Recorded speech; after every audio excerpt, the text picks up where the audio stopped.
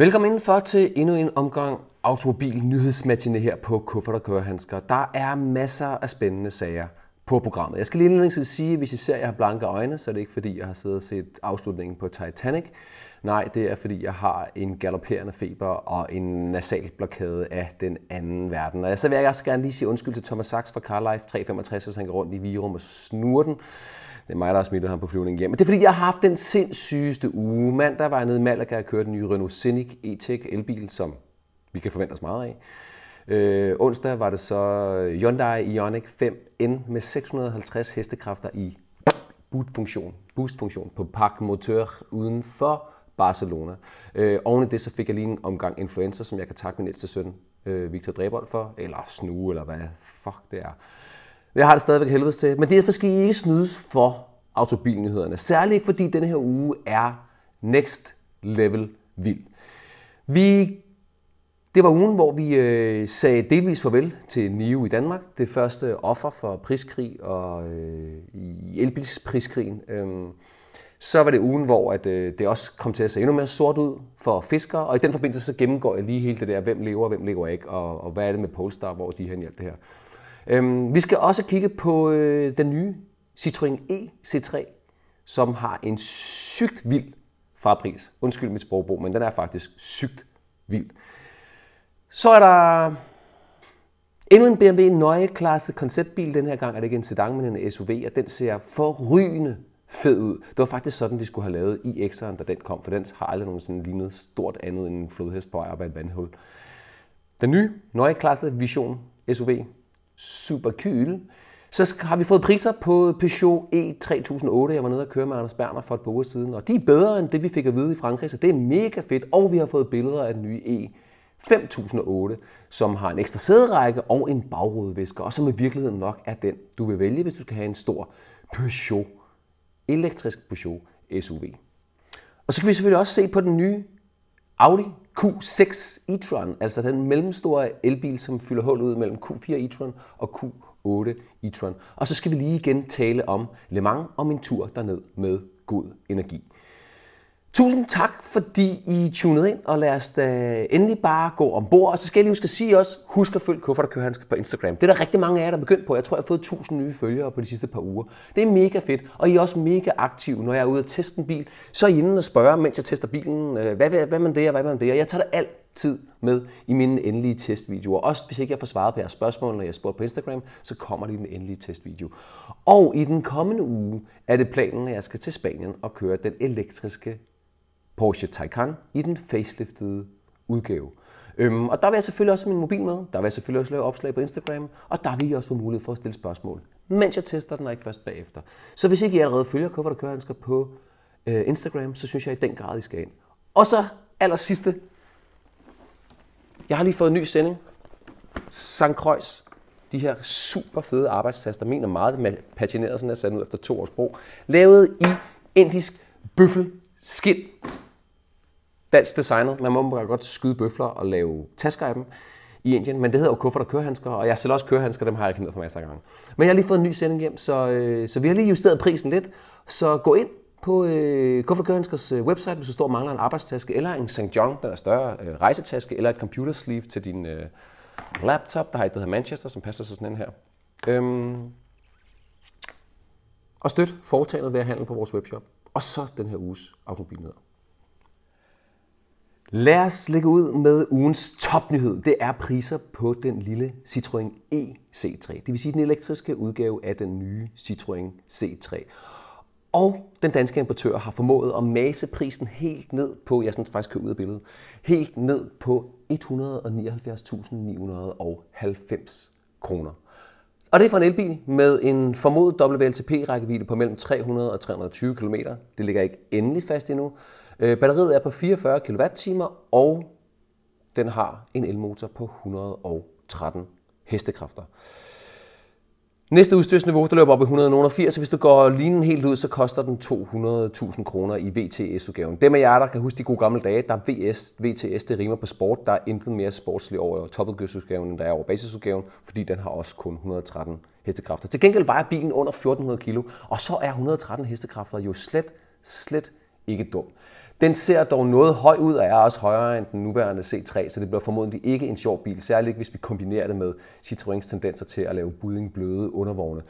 Men det skal ikke tage noget som helst af glæden fra, at vi nu får reelle, rigtige elbiler til under 200.000 kroner. Jeg ved godt, der sidder nogen der og siger, hvad med Dacia Spring, den koster også under 200.000.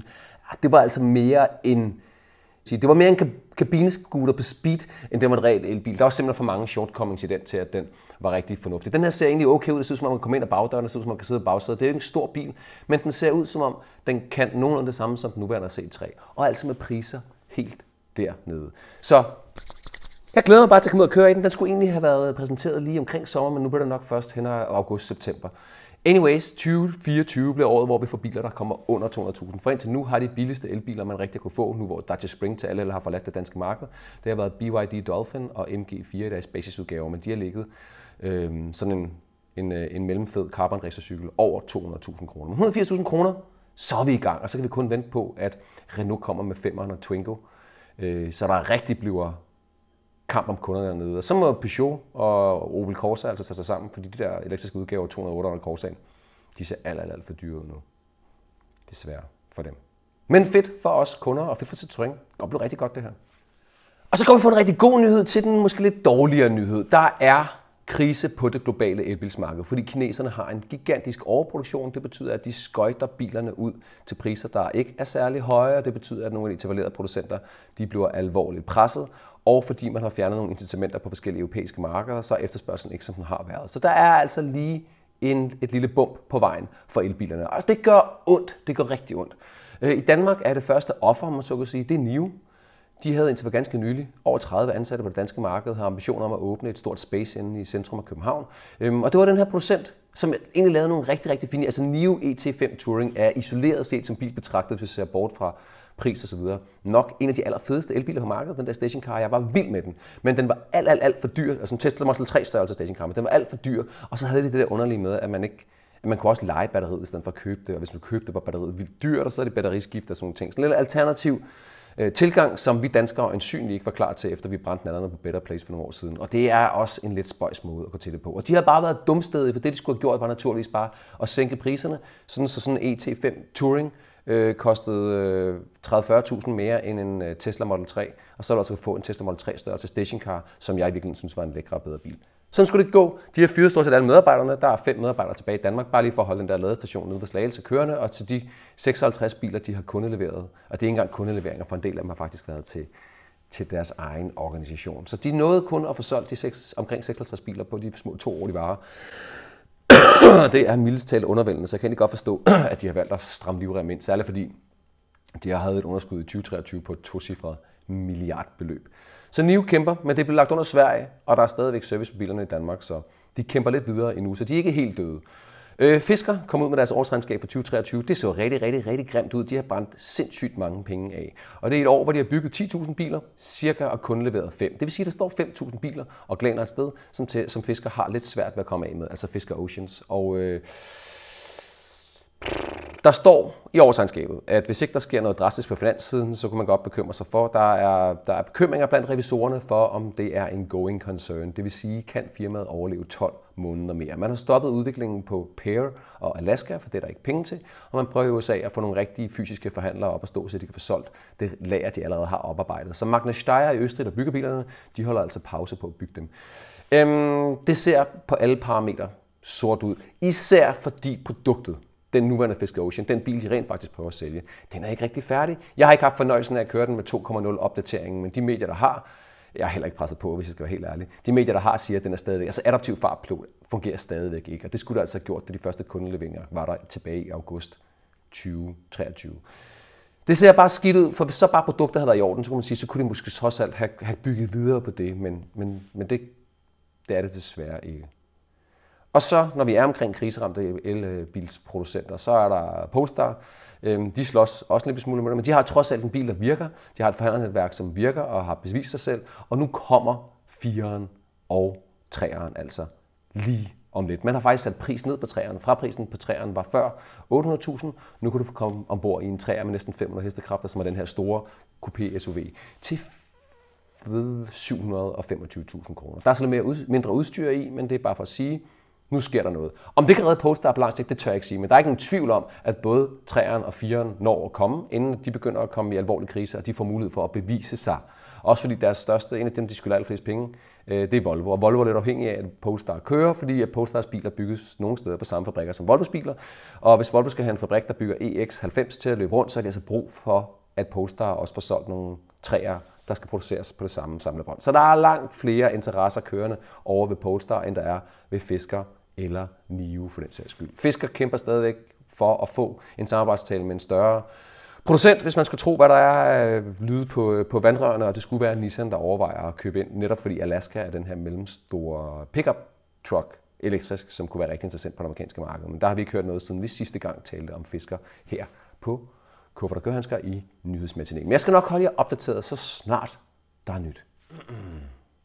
Det her er den nye BMW Vision Neue Klasse X, og det er altså BMW's syn på en fremtidig elektrisk SUV i den nye Neue Klasse-familie. Fordi fra 2025 lancerer BMW en helt ny familie. og inden for 24 måneder vil der komme seks modeller på den her platform.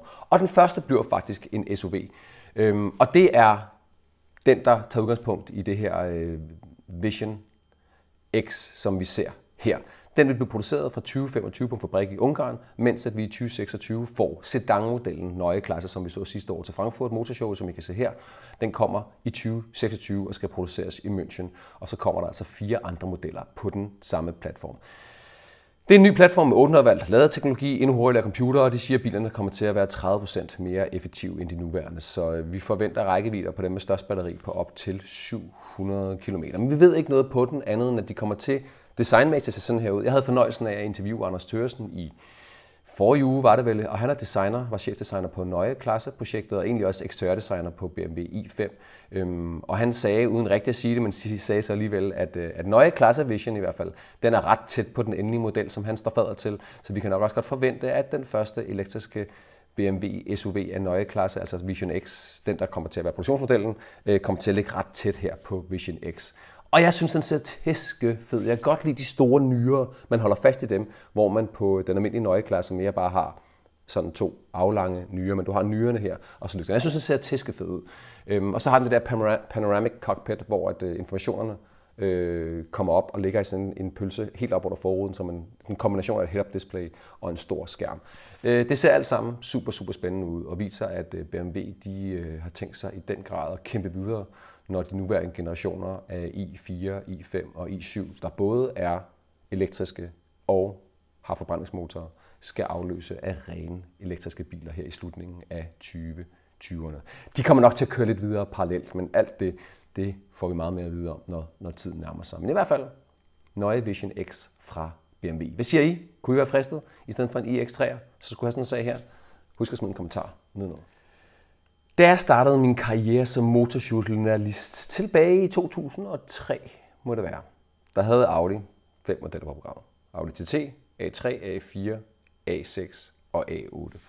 Siden er modelprogrammet vokset, og da det var allerstørst, var der vel omkring 60 forskellige slags karosseriformater. De havde større problemer med at gennemskue, hvordan præventionen fungerer, end den gennemsnitlige analfabetiske katolske familie på landet nede i Italien der røg nogen under bussen, der ikke måtte under bussen, men jeg ved ikke at særlig krænkelsesparate. Men vi forstår godt, hvad jeg mener. De formerede sig helt sindssygt. Men siden 2021 har det bare ligget helt stille. Q4 e-tron er faktisk den seneste helt sprit nye model, som Audi har præsenteret. Og det var derfor, at de havde slæbt mig til Oman for at køre alt muligt fra RS3 øh, til øh, 8 Edition Dakar. Biler, der viste sig slet ikke at komme til Danmark, men som jeg alligevel skulle køre, og som jeg lavede anmeldelser af, og som også var sjove biler osv. Men det viste bare, hvor desperate de var, at de blev nødt til at tage alle mulige underlige aparte udviklingsmodeller øh, ned fra hylderne, for at underholde os motorjournalister lidt med lidt nyheder. Men nu sker der fucking endelig noget. Fordi nu kommer Q6 e-tron. Den mellemstore elektriske SUV, som vi bare har ventet på uendeligt længe. Den deler platform med Porsche Macan, og vi har fået fraprisen på 659.000 kroner. Og det er for en udgave med firehjulstræk og 388 hestekræfter og en formodet rækkevidde på 617 km. Og ved I hvad, det ser helt og aldeles fornuftigt ud. Ja, prisen ligger noget tættere på Q8 end på Q4, men det er fordi, den både er lidt mere high-tech end Q8'eren, og så kommer der også senere nogle basisudgaver. Der kommer en udgave med øh, hvad hedder det, samme 100 kWh batteri øh, brutto som den her øh, introduktionsmodel, øh, men bare med bagstræk, og så kommer der formodentlig også en udgave med et mindre batteri og bagstræk, så vi får priserne længere ned. Ovenpå, der kommer naturligvis en SQ, og den får 517 hestekræfter, og så får den selvfølgelig en smule mindre rækkevidde. Og lur mig om ikke også, der venter en RSQ6 rundt om hjørnet et eller andet sted, som får performance, der matcher de hurtigste Macan-modeller. Øhm, bilerne lander i Danmark lige på den anden side af sommerferien, så der kan ikke gå lang tid, før jeg får en invitation fra Audi om at komme ud og køre dem. Og det vil jeg glæde mig rigtig, rigtig meget til, fordi det er som sagt den helt nye platform, som den deler med Macan, og der er rigtig, rigtig, rigtig mange spændende nyheder at berette. med. jeg tror, vi venter lige med at grave os alt for dybt ned i det. Nu skal vi bare nyde billederne. Den ser pisse godt ud, og, øh, og I kan altså komme ombord i en rigtig, rigtig fornuftig, øh, hvad hedder det, bumstærk 388 hestekræfters udgave til, øh, til 659.000 kroner. Og det er ikke billigt, men det er heller ikke dumt, når vi ser på, øh, hvor bilen egentlig ligger henne. I, øh, altså hvor meget, hvor meget Audi Q5 får du egentlig med omkring 400 hestekræfter for under 700.000 kroner. Ja, ikke? Og ja, jeg hører lige i øresneglen, at øh, til jyderne, der skal jeg lige huske at sige, at øh, den her udgave med 388 hestekræfter og Quattro, den kan trække 2400 kg på krogen. Så det er altså en rigtig, rigtig trailermobil. Og øh, det er kun fordi, jeg har en beef kørende med, så Dalberg rundt om biler, og vi laver sjovt. Han laver sjov med københavnerne, så der er jeg sjov med jyderne. Men faktum er jo, at vi alle sammen godt kan lide hinanden alligevel. Undtagen en fyr, der skrev forleden, at jeg var noget af en københavnersnud om på internettet, og så sagde jeg, hey, jeg er hverken jeg er ikke københavner, jeg er sjællander. Og så skrev han bare, alt syd for Aalborg. Det er københavner.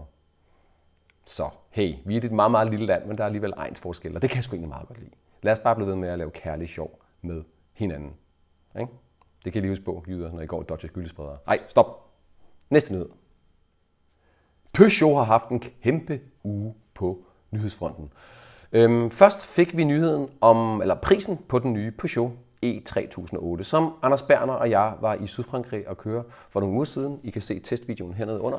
Og vi var faktisk ret begejstrede for bilen, men de prisindikationer, de havde på daværende tidspunkt, lød på omkring 350.000 kroner for en, hvad hedder det, Allure model. Basis, velstyret, men stadigvæk basis. Og det var altså noget dyrere, end hvad vi måske havde håbet på. Men nu har de endelig fået forhandlet priserne helt færdige og melder ud, at en Allure kommer til at koste 330.000 kroner i stedet for. Og det er jo en helt anden historie. Jeg ved godt, 20.000 måske selv meget, men det gør, at den, den ser rigtig, rigtig fornuftig ud i forhold til Tesla Model 3 og, øh, hvad hedder undskyld, Tesla Model, jo, nej, Tesla Model Y og Volkswagen ID4. Øh, og faktisk også Renault Scenic, så, øh, så stor konkurrence for europæerne nu øh, til Tesla Model Y. Og øh, GT-udgaven, som har noget mere udstyr, den øh, starter ved 360. Vi har endnu ikke fået priserne på de store udgaver med 98 kWh batteri og en rækkevidde på 700 km. Og når man nu er ved Peugeot, så var det også ugen, hvor de viste os billeder af E5008. Og E5008'eren e er i virkeligheden søstermodel til E3008'eren, men den er længere, har en sæderække mere med to stole, øh, et mere sådan lige design, som var det, jeg glædede mig til, da vi var nede og køre 3008'eren, som er meget sådan coupé sportback nærmest designet. Øhm, og så har den bagudvisker, hvilket 3008'eren ikke har. Det kan vi sgu godt lide i Danmark, hvor man kører rundt, og vejvæsen altid spreder salt om vinteren. Så hvis der lige har været sådan en lille gang tøsne, og man har kørt en dag til og fra arbejde, og ikke har en bagudvisker, så er det fuldstændig håbløst at kigge ud af bagruden. Så bagudvisker skal vi faktisk bede om, i hvert fald i Danmark.